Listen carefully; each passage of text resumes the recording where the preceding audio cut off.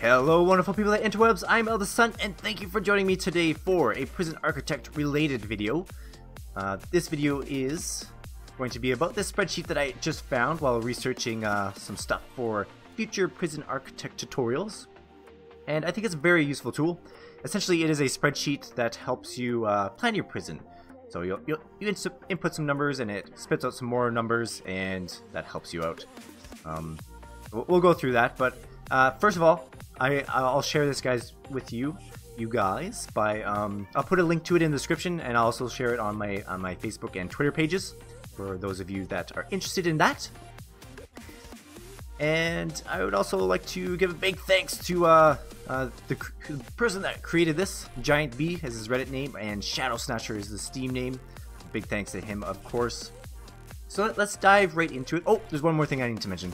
Um, so the link that, that I that I'll share with you guys, um, you won't be able to edit the spreadsheet. So you have to go File, um, and then you'll either have to make a copy for yourself or download it as whatever you need. And then if you do XLSX, you'll be able to edit it, edit it in Microsoft Excel. So that'll be good. Um, so yeah, that's that's basically it. Uh, so let's get into it. Uh, the kitchen canteen is one of the, the first tab here. It's kind of the most uh, complicated one, I think.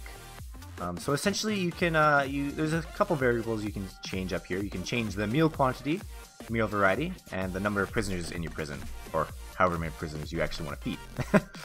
and it also it'll tell you how much it will cost to feed those prisoners per day, and I'll tell you the number of things you should build in order to um, to cook and feed your prisoners.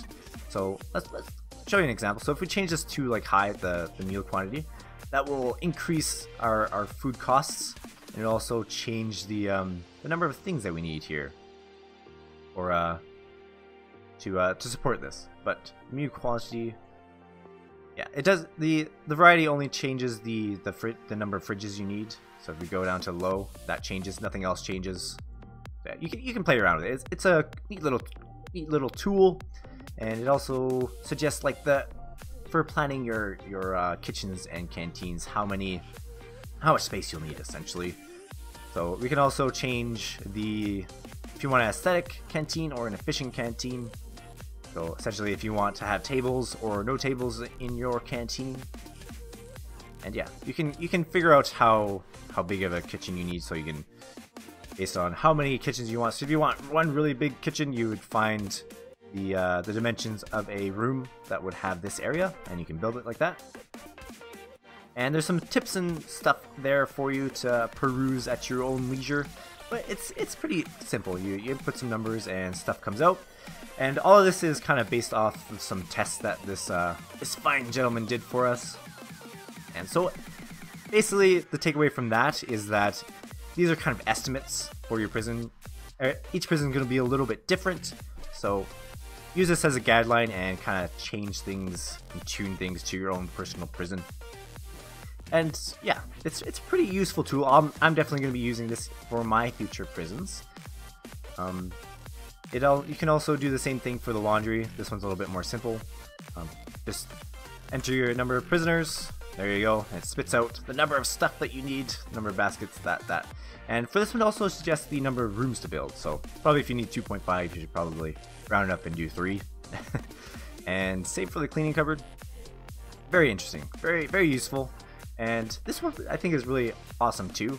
The workshop, you can enter the number of people you want to be working in the workshop. So 25 is kind of high, so like 10. And it also it approximates the uh, the profit that you'll be making out of this. So it also suggests the number of saws, work presses, and tables, just so you can build your your workshops the most efficient way possible. So yeah, it's pretty interesting. Like I said, I, will share this with you guys. I hope you guys will use it. I, I definitely will. Um, so yeah, give me a like or a dislike, whatever you feel like for this video.